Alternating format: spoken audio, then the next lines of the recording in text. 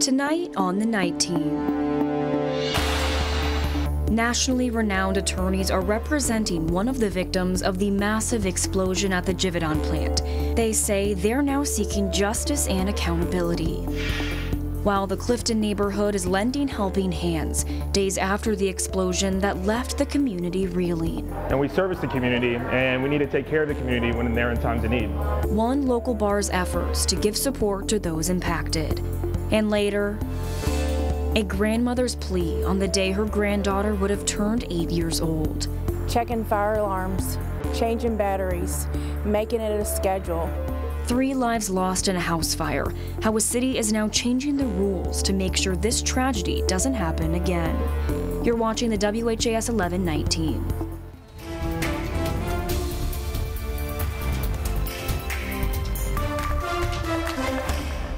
And just into the newsroom, a man is dead following a double shooting outside of a Russell neighborhood club. It's our top story here on the night team. I'm Alex Dederer. LMPD says it happened around 8.30 tonight in the parking lot of Club Cedar. That's on South 26th Street, a few blocks from the Norton Healthcare Sports and Learning Center. LMPD says when officers arrived, they found two adult men had been shot. One was pronounced dead at the scene and the other was taken to the hospital with a gunshot wound to the leg. If you have any information on this incident, you're urged to call LMPD's anonymous tip line. That number is 574 LMPD. And a man is dead tonight after leading Louisville Metro Police on a high-speed chase through multiple counties. LMPD says the man shot himself in his car as the chase appeared to be coming to a close. Police say the incident began around 9.30 this morning when they attempted to pull over the man on Dixie Highway for having outstanding warrants. Police say that's when the man fled the scene. The man drove into Oldham County before re-entering Louisville, where he eventually hit a parked car on 39th and Broadway. LMPD says the man kept driving for a moment after that, before eventually returning to the area where he shot and killed himself. Police also say a second collision happened during this pursuit and that involved an LMPD officer. This one happened at 22nd and Broadway. Police say an officer's car and another car collided, injuring two civilians in the car.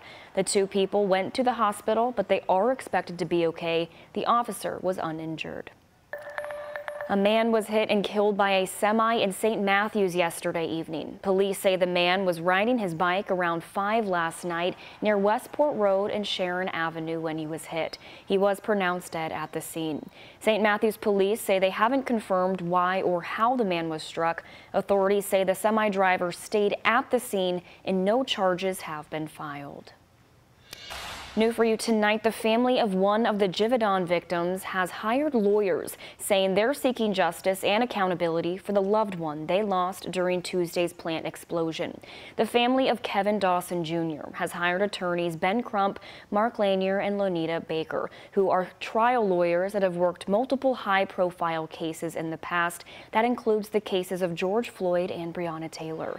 Attorney Ben Crump issued the following statement, saying in part, quote, early suggest serious safety lapses and ignored warnings that endangered employees and the community. We will fight tirelessly to uncover the truth and hold those responsible accountable, end quote.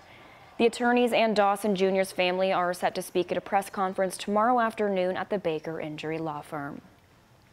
The Clifton neighborhood is still reeling after that massive explosion. Homes and businesses in Clifton still picking up the pieces. To help those impacted by the explosion, Spring Street Bar and Grill held a fundraiser, fundraiser today. WHAS 11 photojournalist Levi Hammer and I have their message to the community. An explosion at the Givaudan plant that shook the Clifton neighborhood. It blew stuff off the walls, and I'm surprised the windows didn't break pretty scary stuff. And then uh, once we realized that it wasn't something imminent in our property, we realized something even more catastrophic happened in the neighborhood. Two employees were killed in the explosion, others sent to the hospital for injuries. Homes nearby the plant were damaged from the blast, and businesses and buildings had glass windows blown out. Clifton is a very neighborhoodly area. Spring Street Bar and Grill saw their neighborhood grieving and wanted to help. We're a member of the community and we service the community, and we need to take care of the community when they're in times of need. Sunday, the bar and grill donated 10% of all proceeds to those impacted by the explosion. It impacted not just the people that work at those businesses, but I know some of our distributors even were friends with the people that were injured during, like the people that deliver our food, beer, etc.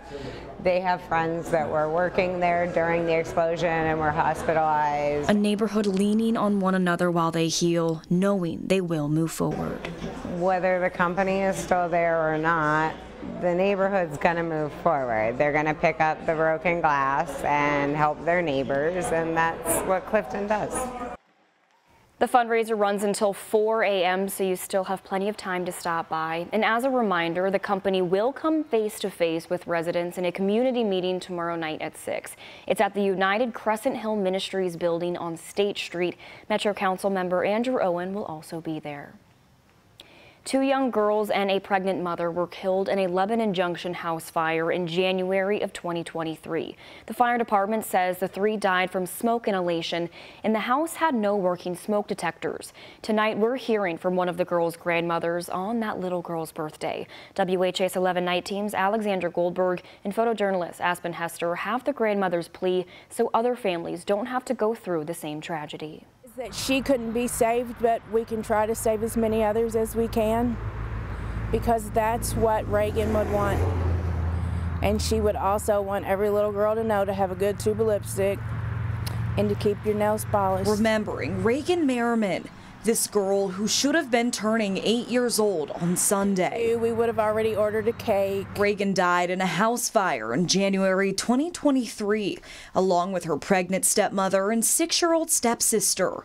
Authorities confirmed the Lebanon Junction home did not have working smoke detectors. Now, Reagan's grandmother, Tina Swan, is hoping no other family has to live through this grief. Checking fire alarms changing batteries, making it a schedule. Fire safety awareness. We can have the fanciest equipment as possible, but the, the true savior of life is a working smoke detector in your home. Shepherdsville firefighter Todd Bevin says since the tragedy, Bullitt County passed an ordinance that requires smoke detectors in homes, and the department will install them for anyone and for free. Since this incident happened, we have probably doubled to triple the amount of smoke detectors that we are putting up. Spreading the message. But Reagan would want me to make people aware so that someone else isn't lost.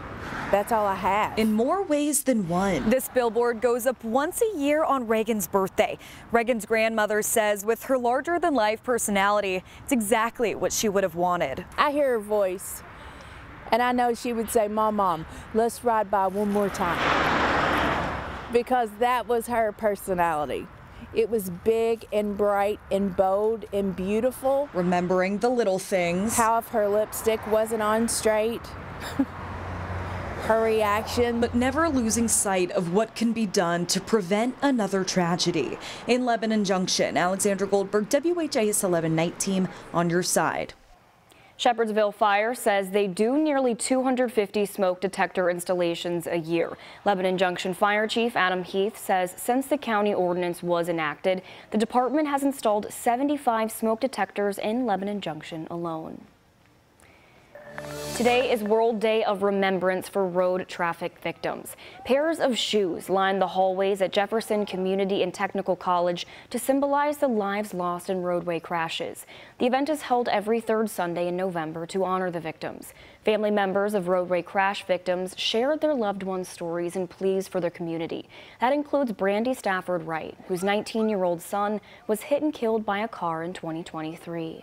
We have an issue in our city um, with people who are being hit and killed in roadway crashes, and you know people are not stopping, they're not rendering aid, they're not doing um, their due diligence as you know human beings to make sure that people are okay. Local leaders also used today's gathering to renew their call for state legislation that allows automated speed enforcement in Kentucky. I'm going to do everything I can within Frankfort and city to, to bring these cameras because I think they're necessary. We don't have enough officers to, to do what we need to do to monitor these speeders, but we do have technology that can do the same thing. According to the Federal Highway Administration, speed safety cameras can reduce roadway fatalities by 20 to 37 percent.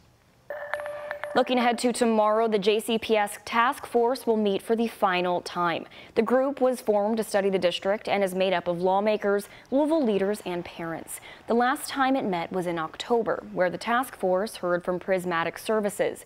That's the company JCPS hired to investigate last year's first day transportation disaster. The Prismatic president testified, saying the company made dozens of recommendations to JCPS to fix the problems. Tomorrow's meeting starts at 3 in Frankfort. Also in JCPS news, the district's Clothing Assistance Program, or CAP, is opening a brand new warehouse tomorrow. CAP helps JCPS students and families get all the new and used clothes, shoes, accessories they may need for school. JCPS families who need assistance with clothing are eligible to receive items twice each year through the program. Each student enrolled at JCPS is eligible to receive a new pair of khaki or navy uniform pants, a new polo style uniform shirt, a new belt, five new pairs of white socks, and five new pairs of underwear. The new warehouse will be located at 1400 West Jefferson Street.